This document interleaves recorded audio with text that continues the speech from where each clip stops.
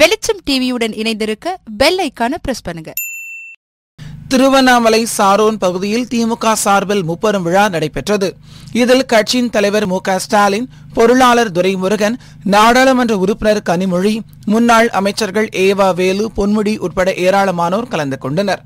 பின்னர் இவ்விழாவில் பேசிய மு க ஸ்டாலின் முப்பெரும் விழாவுக்கு பேனர்கள் விளம்பர பதாகைகள் வைக்காததற்கு தொண்டர்களுக்கு நன்றி தெரிவித்துக் கொண்டார்.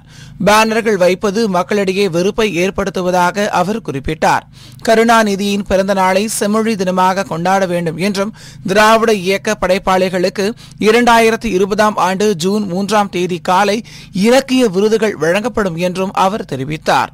ஒப்பந்தங்கள் மேற்கொண்ட நிறுவனங்களின் பெயரை ஏன் முதல்வர் வெளியிடவில்லை என்று மு க ஸ்டாலின் கேள்வி எழுப்பினார்.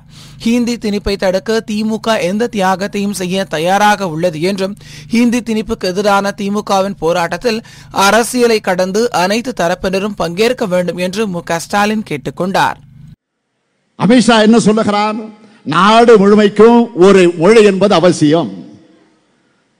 அதுதான் இந்தியாவினுடைய அடையாளத்தை தரும். அதிக மக்களால் பேசப்படக்கூடிய இந்தி மொழிதான் அந்த அடையாளத்திற்குரிய மொழி என்று அமித்ஷா அவர்கள் நேற்றைக்கு வெளியிட்டிருக்கிறார்கள். நான் சொல்லுகிறேன் இந்தியாவில் இந்தி மொழி பேசுபவர்கள் மட்டும் வாழல. இந்தியாவில் கணக்கெடுத்து பார்த்தீங்கன்னா ஆயிரத்தி அறுநூற்றி ஐம்பத்தி ரெண்டு மொழிகள் பேசுகின்ற மொழி பேசக்கூடிய மக்கள் வாழ்ந்து கொண்டிருக்கிறார்கள். ஆயிரத்தி அறுநூற்றி ஐம்பத்தி ரெண்டு மொழிகள் பேசக்கூடியவர்கள். நாடு முழுவதற்கு ஒரு மொழி என்று இந்திக்கு மட்டும் மகனம் சூட்டுவது என்பது இந்தியா முழுமைக்கும் இந்தியை திணிக்கத்தான். இன்றைக்கு இந்தியை திணிக்க சட்டம் போடுவார்கள். நாளைக்கு தமிழை படிக்கக்கூடாது என்று சட்டம் போடக்கூடிய ஒரு சூழ்நிலை கூட வரும். சூசகமாக ஏன் சூசகமாக அல்ல வெளிப்படையாகவே நான் தெரிவிக்க விரும்புகிறேன்.